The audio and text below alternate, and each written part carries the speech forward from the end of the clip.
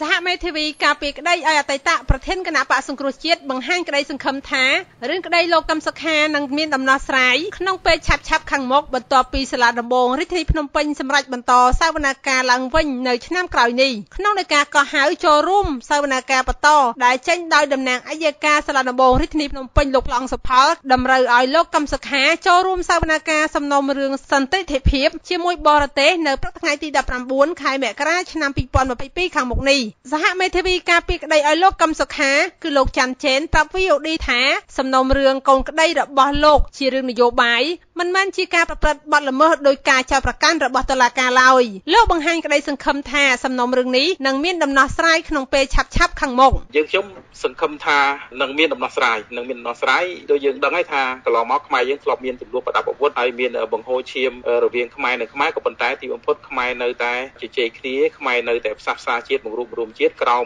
ដំបូលរដ្ឋធម្មនុញ្ញតែមួយក្រោមអង្គព្រះមហាក្សត្រតែមួយហើយដែលមានបាវចនាជាតិសាសនាព្រះមហាក្សត្របាទចំហរបស់យើងអត់ប្រែប្រួលទេគឺយើងចង់ឃើញតឡាការក៏ហៅថាទម្លាក់បទចោតប្រកាន់ទៅលើកូនក្តីយើងខ្ញុំដោយសារកូនក្តីខ្ញុំគាត់ជាអ្នកនយោបាយដើម្បីផ្ដល់ឱកាសគាត់ដើម្បីចូលរួមក្នុងការកសាងជាតិដើម្បីសេចក្តីសុខសាន្តរបស់ប្រជាពលរដ្ឋក៏ដូចជាការរីកចម្រើនរបស់ប្រទេសជាតិបាទការចាប់ផ្ដើមបន្តសវនកម្មសំណុំរឿងអតីតប្រធានដឹកនាំគណៈបកសង្គ្រោះជាតិលោកកឹមសុខាឡើងវិញនេះក្រោយពីតុលាការសម្រេចផ្អាករយៈពេល72ឆ្នាំក្រោមហេតុផលការឆ្លងរាលដាលជំងឺ Covid-19 ចូលក្នុងសហគមន៍យ៉ាងនេះក្តីក្នុងនៃការកោះរបស់លោកប្លង់សផលមិនបានបញ្ជាក់ពីមូលហេតុដែលនាំឲ្យបន្តសវនកម្មរឿងក្តីលោកកឹមសុខាឡើងវិញនៅខែមករាខាងមុខនោះទេនាយករងអង្គការឃ្លាំមើលសិទ្ធិមនុស្សលីកាដូលោកអមសំអាតមានប្រសាសន៍ថាសំណុំរឿងលោកកឹមសុខាត្រូវបានសហគមន៍ជាតិនិងអន្តរជាតិចាត់ទុកជារឿងនយោបាយនៅកម្ពុជាដោយសារតែនេះជាលើកទី1ហើយដែលមេដឹកនាំបកប្រឆាំងនៅកម្ពុជាត្រូវបានចាប់ខ្លួននិងចោទប្រកាន់លោកបន្តថាបើទោះបីជាលោកកឹមសុខាត្រូវបានតុលាការចោទប្រកាន់ក៏ពិតមែនតែតំណាងស្ថានទូតផ្សេងផ្សេងប្រចាំនៅកម្ពុជារួមទាំងតំណាងសហរដ្ឋអាមេរិកដែលមកទស្សនកិច្ចកម្ពុជានាពេលកន្លងមកក៏បានចូលជួបលោកកឹមសុខាបន្ទាប់ពីលោកត្រូវបានអនុញ្ញាតដាក់ឲ្យនៅក្រៅឃុំបណ្ដោះអាសន្ននេះក៏វាជាសញ្ញាណល្អមួយដែរនៅពេលដែលដំណើរការនៅតុលាការហើយបើសិនជាមានការដោះស្រាយតាមផ្នែកនយោបាយណាមួយទៅបានដើម្បីស្វែងរកការឯកភាពជាតិសាមគ្គីជាតិឡើងវិញអញ្ចឹងនយោបាយអាចនឹងត្រូវដោះស្រាយបញ្ចប់អញ្ចឹងរឿងហ្នឹង ក៏អាចត្រូវបញ្ចប់ផងដែរនេះបើសិនជាយើងមើលទៅសញ្ញានិងទស្សនភាពការប្រកា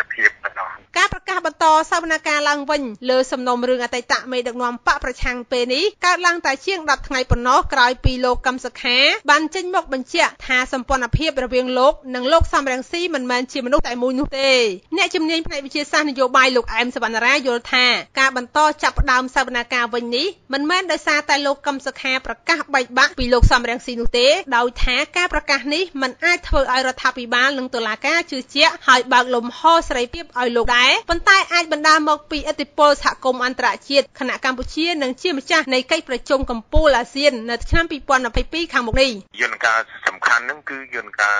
ឥទ្ធិពលអន្តរជាតិក្របខ័ណ្ឌអាស៊ានហើយនិងក្របខ័ណ្ឌអន្តរជាតិពាក់ព័ន្ធនឹងអាមេរិកហើយនិងអាស៊ានដែលកម្ពុជាទៅជាប្រធាននៅឆ្នាំក្រោយណាហ្នឹងតែយើងអាចជាប្រធានទៅវិញដែលយើងអាចមានបើកបរិយាកាសនយោបាយឲ្យមើលឃើញឲ្យលំហមួយឬក៏ឲ្យអន្តរជាតិមើលឃើញថាកម្ពុជាមានលំហប្រជាធិបតេយ្យកុំឲ្យក្នុងបន្ទុកមួយដោយកម្ពុជាកាន់តែកាលណាបើយើងបិទចិត្តទៅស្ថានភាពនយោបាយសិទ្ធិកម្ពុជានឹងហាក់ដូចជាតឹងរឹងបាក់ផែលនឹងថៃភូមិដែរបាទ គិតមកទល់ពេលនេះមានរយៈពេលប្រមាណ4ឆ្នាំហើយដែលសិទ្ធិសេរីភាពធ្វើនយោបាយរបស់អតីតប្រធានគណៈបក្សសង្គ្រោះជាតិលោកកឹមសុខាត្រូវបានបាត់បង់ទាំងស្រុងក្រោយពេលលោកត្រូវបានចាប់ខ្លួនកាលពីថ្ងៃទី3ខែកញ្ញាឆ្នាំ2017យកទៅដាក់គុកត្រពាំង plong ក្នុងខេត្តត្បូងឃ្មុំជាប់ព្រំដែនវៀតណាមពីរខែក្រោយការចាប់ខ្លួនលោកកឹមសុខាពលគឺនៅថ្ងៃទី16ខែវិច្ឆិកាឆ្នាំ